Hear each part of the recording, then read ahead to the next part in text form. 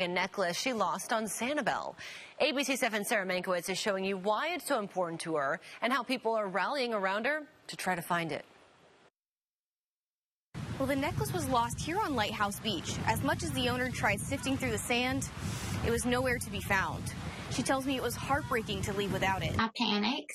I said to my husband, I said, Oh my gosh, I don't see my necklace anywhere. It wasn't where I normally would put it with my other jewelry. Lisa McCutcheon and her husband were enjoying a perfect day on Lighthouse Beach, searching for shells, until her heart sank when she realized her necklace was gone. We went back the next morning and kind of retraced our steps and um, looked for it everywhere, but no luck.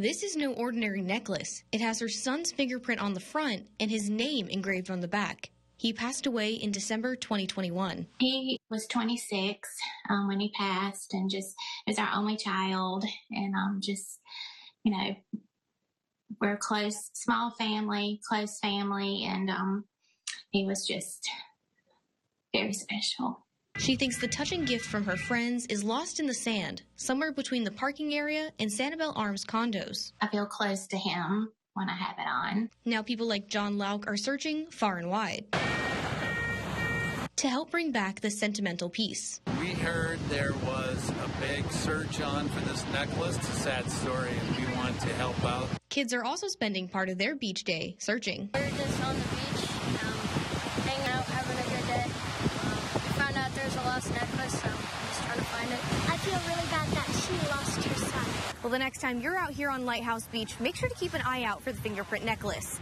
On Sanibel, Sarah Mankiewicz, ABC 7.